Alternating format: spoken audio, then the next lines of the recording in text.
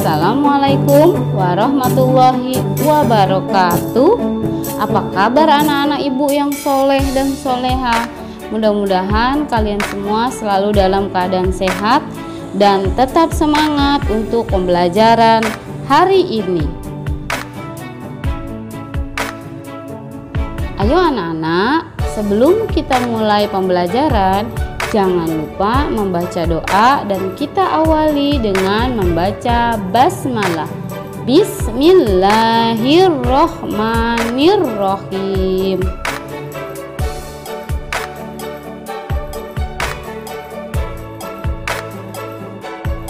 Baik anak-anak, materi kita untuk hari ini adalah tema 4 hidup bersih dan sehat, subtema 2 hidup bersih dan sehat di sekolah pembelajaran pertama. Ayo semangat ya anak-anak subtema baru nih.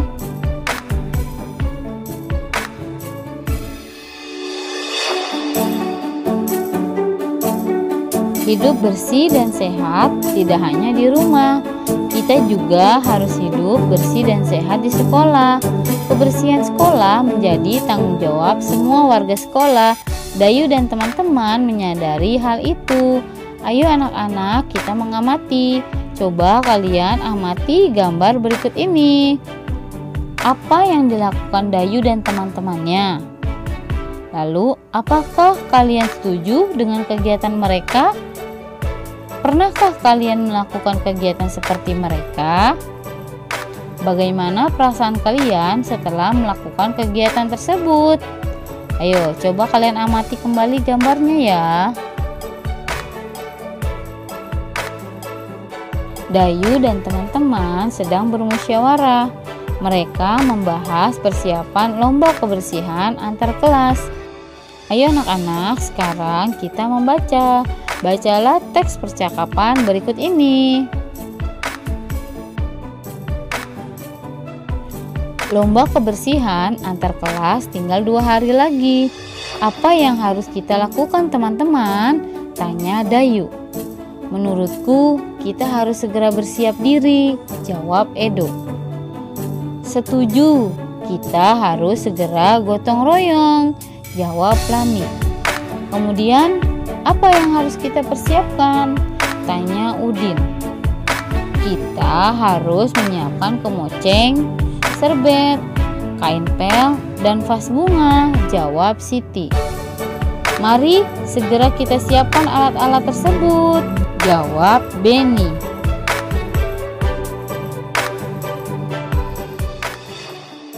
Ayo anak-anak kita cari tahu makna dari kata-kata berikut ini. Kata yang pertama adalah kain pel. Maknanya kain yang digunakan untuk mengeringkan lantai. Kata yang kedua adalah vas. Maknanya tempat bunga. Dan kata yang ketiga adalah kemoceng. Maknanya pembersih debu. Baik anak-anak, selanjutnya ayo berlatih. Jawablah pertanyaan berikut sesuai dengan hasil musyawarah Dayu dan teman-teman. Kerjakan di buku tugas kalian masing-masing. Selanjutnya, ayo berdiskusi. Temukanlah makna kata-kata berikut dengan benar. Kalian boleh menggunakan pensil warna untuk mencari kata-katanya. Kerjakan di buku tugas kalian masing-masing. Anak-anak, selanjutnya ayo membaca. Bacalah teks berikut dengan lafal dan intonasi yang sesuai. Kelasku bersih, aku bangga. Sekolah Dayu akan mengadakan lomba kebersihan antar kelas. Dayu dan teman-teman bertekad untuk menang dalam lomba tersebut. Mereka mulai bebenah. Semua siswa ikut ambil bagian Dayu dan teman-teman sepakat untuk mengadakan gotong royong. Dayu dan teman-teman mulai yang bergotong royong. Bagian pertama yang dibersihkan adalah ruang kelas. Semua siswa berbagi tugas. Ada yang menyapu lantai, membersihkan kaca jendela, membersihkan papan tulis, dan menata ruang kelas. Semua siswa ikhlas mengerjakan tugas masing-masing. Kelas Dayu menjadi bersih dan rapi. Lantai, jendela, dan dinding tidak ada yang berdebu. Semua perabotan kelas pun tertata dengan baik. Ada juga hiasan dinding terpajang di dinding. Dayu dan teman-teman bangga punya ruang kelas yang bersih. Kelas yang bersih membuat siswa sehat. Kelas Dayu adalah kelas yang bersih. Sudah tahukah kamu apa ciri-ciri kelas yang bersih? Ayo coba amatilah gambar berikut ini dengan teliti. Setelah kalian mengamati, bagaimana suasana kelas yang kamu amati? Ya, suasana kelas sangat nyaman. Lalu, apakah kamu mengerti isi gambar? Pasti sudah mengerti ya, anak-anak. Nah, anak-anak, berikut ini adalah ciri-ciri kelas yang bersih. Yang pertama, tidak ada sampah yang berserakan. Yang kedua, tidak ada debu di lantai, meja, atau jendela. Dan yang ketiga, Meja dan kursi tersusun dengan rapi.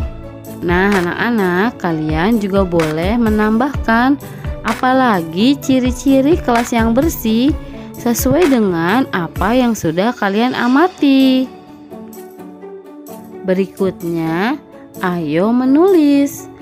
Tuliskanlah hasil pengamatanmu terhadap gambar pada kolom berikut. Nah, anak-anak, Ayo kita menulis. Misalnya, kelas bersih dan menyehatkan. Kelas yang bersih memberikan suasana yang nyaman. Kelas yang bersih tidak ada sampah yang berserakan. Selain itu, tidak ada debu di lantai, meja, atau jendela. Semua meja dan kursi tertata dengan rapi. Kelas yang bersih membuat siswa menjadi sehat. Nah, anak-anak, bagaimana dengan pendapat kalian? Coba tuliskan pendapat kalian sesuai dengan hasil pengamatan kalian. Tuliskan di buku tugas kalian masing-masing.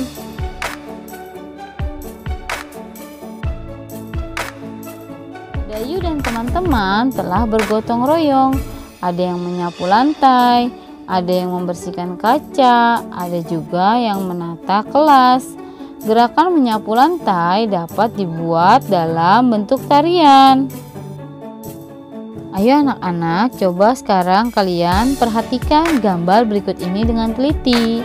Perhatikan, Dayu sedang memperagakan gerak menyapu lantai. Perhatikan gerak kepala Dayu, Perhatikan gerak tangannya Dayu dan perhatikan juga gerak kaki Dayu.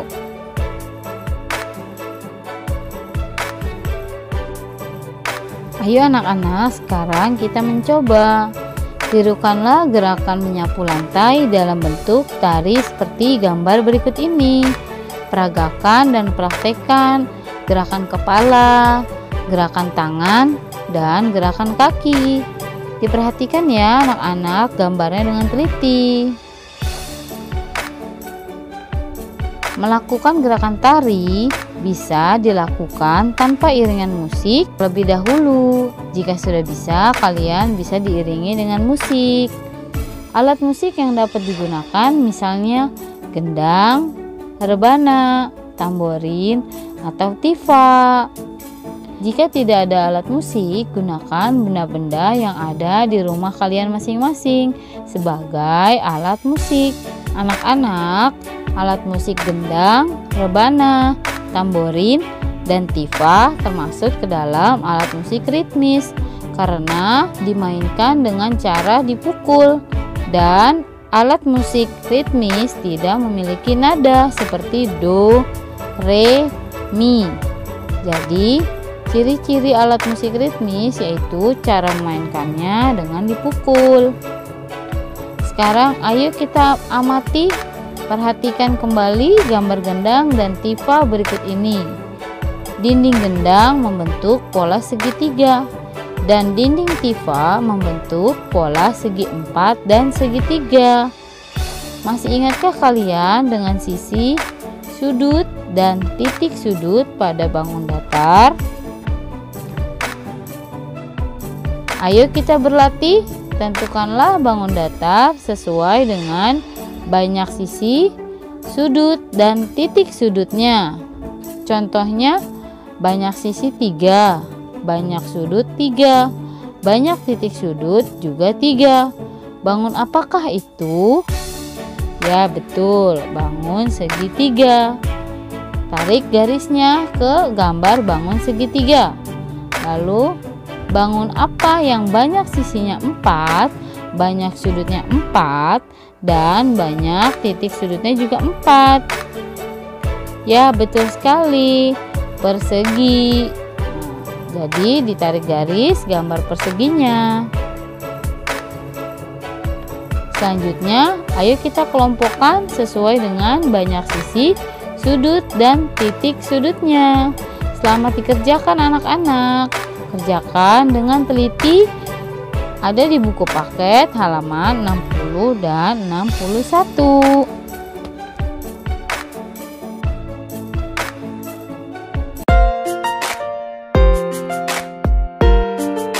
Alhamdulillah, terima kasih anak-anak soleh dan soleha.